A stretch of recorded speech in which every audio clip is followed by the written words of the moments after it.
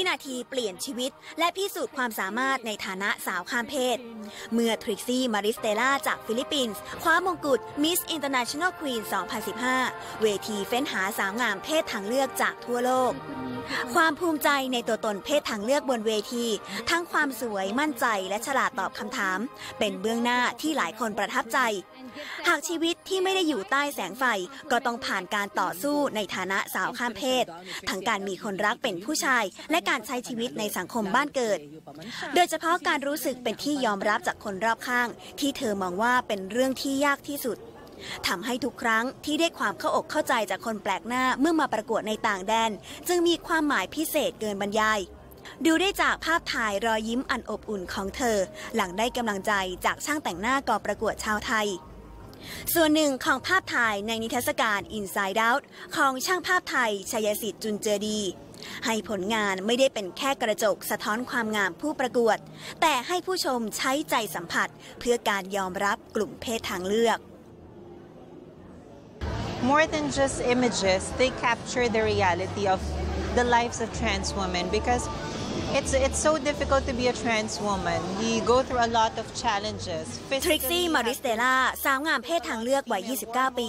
เล่าว่าภาพถ่ายทั้งหมด 40 ภาพ เล่าเรื่องเกี่ยวกับหญิงสาวข้ามเพศได้อย่างลึกซึ้ง เบื้องหน้าดูสวยงาม แต่เบื้องหลังพวกเธอต้องยอมรับการเปลี่ยนแปลงทางสรีระและต้องมีหัวใจที่เข้มแข็ง เมื่อต้องเผชิญกับทัศนคติด้านลบ อย่างที่ฟิลิปปินส์เธอเคยถูกเข้าใจผิดว่าเป็นผู้ชายที่ชอบแต่งตัวเป็นผู้หญิง และถูกห้ามไม่เข้าสถานบันเทิง ประเด็นนี้กลายเป็นที่ถกเถียงในฟิลิปปินส์และนำไปสู่การปรับกฎภายหลัง ให้กลุ่มสาวข้ามเพศสามารถเข้าไปในสถานบันเทิงได้ว่าไม่อยากให้คนอื่นมองเราว่าเป็น ตัวต่างหรือว่าเป็นตัวตลก เวลาเราเดินไปไหน ก็มีแต่คนหัวเราะมีแต่คนเอ่อแบบเบะปากใส่เราหรือไม่ชอบเราอย่างเงี้ย คือเราก็พยายามที่จะทำให้ทุกอย่างเนี่ยเรากลายเป็นคนบุคคลคนหนึ่งใช่ทำให้ทุกคนได้เห็นว่าเราก็เหมือนผู้หญิงนะอะไรอย่างเงี้ยค่ะ เนี่ยมันก็สะท้อนเรื่องราวแล้วก็มันมีเรื่องราวลึกลึกกว่านั้นที่มันเป็นสตอรี่ที่ทุกคนอาจจะยังไม่รู้ กว่าจะได้สวมส้นสูงสวยๆ ต้องอดทนอย่างหนัก ภาพรอยแผลเป็นที่เท้าจึงสะท้อนข้อจำกัดทางสรีระ ที่ต้องพยายามเติมเต็มความเป็นผู้หญิง มุมมองที่แตกต่างจากบนเวทีประกวดอย่างสิ้นเชิง ซึ่งกว่าจะได้รายละเอียดในแต่ละภาพ ช่างภาพโอ๊ตชัยสิทธิ์ต้องใช้เวลาติดตามสาวงามตลอด 15 วัน นอกจากใช้ภาพเปลี่ยนความคิดสร้างความเข้าใจเรื่องเพศแล้ว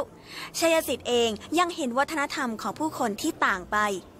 อย่างภาพถ่ายที่กินใจที่สุด คือสาวงามจากยุโรปที่เฟซไทม์หาลูกสาวที่อยู่ข้ามทวีป แสดงถึงการเปิดกว้างให้กลุ่มเพศทางเลือก สามารถแต่งงานและมีบุตรได้ตามกฎหมายผู้เข้าประกวดท่านหนึ่ง วันนั้นผมถ่ายเขาตอนรอบสุดท้ายครับตอนเข้าประกวดรอบสุดท้ายเนี่ยแล้วเขาก็เขาเฟซไทม์กับลูกสาวเขาอยู่ ซึ่งผมก็สังเกตผมก็ผมผมก็ฟัง ผมก็ค่อยๆ observe ว่าเฮ้ยเขาคุยกับลูกเขาจริง ๆ หรือเปล่า ปรากฏ นั่นคือลูกสาวเขาจริงๆฮะและเขาก็มีแฟนที่เป็นผู้ชายจริง ๆ คือผมอยากให้มองข้ามเรื่องของบางอย่างที่มันรู้สึกว่าถูกหรือผิดไป ให้มองถึงความรู้สึกของของของคนว่าเขาเป็นยังไงบ้าง เพราะว่าเขาก็คือคนเหมือนเราเล่นกับชื่อนิทรรศการ Inside Out ที่ชวนให้มองลึกถึงตัวตนสาวข้ามเพศว่าไม่ต่างจากคนทั่วไป รูปแบบการจัดนิทรรศการก็ยังเก๋ค่ะ เพราะใช้โทนสีขาวดำมาช่วยเล่าเรื่อง ยังกรอบรูปของภาพไหนที่ใช้สีขาว ก็หมายถึงความสวยงามที่อยู่หน้าฉาก อย่างชัยชนะของผู้เข้าประกวด ตรงกันข้ามกับภาพที่อยู่ในกรอบรูปสีดำที่สะท้อนให้เห็นถึงอีกด้านที่กว่าจะถึงวันแห่งความฝันนิทรรศการ Inside Out เป็นเพียงโปรเจกต์แรกของช่างภาพหนุ่มชาวไทย ในการบันทึกภาพกลุ่มเพศทางเลือก และวางแผนเป็นโครงการระยะยาว 2 ปี บนความตั้งใจที่จะใช้ผลงานภาพถ่าย สร้างมุมมองที่เปิดกว้าง และนำไปสู่การยอมรับกลุ่มเพศทางเลือกในสังคมไทยค่ะ